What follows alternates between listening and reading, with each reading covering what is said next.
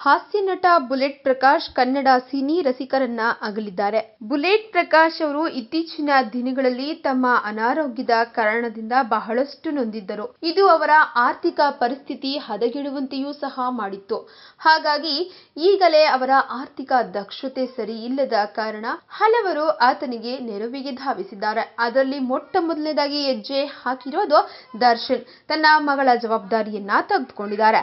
ಆದರೆ ಇದೀಗ ಸಚಿವ ಆರ್ ಅಶೋಕ್ ಅವರು ಬುಲೆಟ್ ಪ್ರಕಾಶ್ ಅವರ ಆಸ್ಪತ್ರೆ ಬಿಲ್ಗಳನ್ನ ಕ್ಲಿಯರ್ ಮಾಡಿದ್ದಾರೆ. ಆರ್ ಅಶೋಕ್ ಅವರಿಗೆ ಬಹಳಷ್ಟು ಧನ್ಯವಾದ. ಆಸ್ಪತ್ರೆಯ ಬಿಲ್ ಕ್ಲಿಯರ್ ಮಾಡಿ ಇಷ್ಟೊತ್ತಲ್ಲಿ ದೇಹವನ್ನ ಮನೆಗೆ ತೆಗೆದುಕೊಂಡು ಹೋಗೋದು ಬೇಡ ಅಂತ ಪ್ರೇಮ್ ಕುಟುಂಬದ ಮನವೊಲಿಸಿದ್ದಾರೆ. ಹೀಗಾಗಿ ಎಂಎಸ್ ರಾಮಯ್ಯ ಆಸ್ಪತ್ರೆಗೆ ದಾಖಲು ಮಾಡುವ ವ್ಯವಸ್ಥೆ ನಡೀತಿದೆ. ನಾಳೆ ಮನೆಯ ಹತ್ತಿರ ತೆಗೆದುಕೊಂಡು ಹೋಗ್ಲಿದ್ದಾರಂತೆ. ಇನ್ನು ನಾಳೆ ಅಂತ್ಯ ಸಂಸ್ಕಾರ ಎಷ್ಟು ಗಂಟೆಗೆ ಅಂತ ಸದ್ಯಕ್ಕಿನ್ನೂ ತೀರ್ಮಾನ ಮಾಡಿಲ್ಲ ಎಂದು ನಟ ದುನಿಯಾ ವಿಜಯ್ ತಿಳಿಸಿದ್ದಾರೆ. ಇನ್ನು ದಯವಿಟ್ಟು ಯಾವ ಅಭಿಮಾನಿಗಳು ಮನೆ ಹತ್ರ ಬರಬೇಡಿ, ಅಂತ್ಯ ಸಂಸ್ಕಾರದ ಹತ್ತಿರ ಸೇರಬೇಡಿ.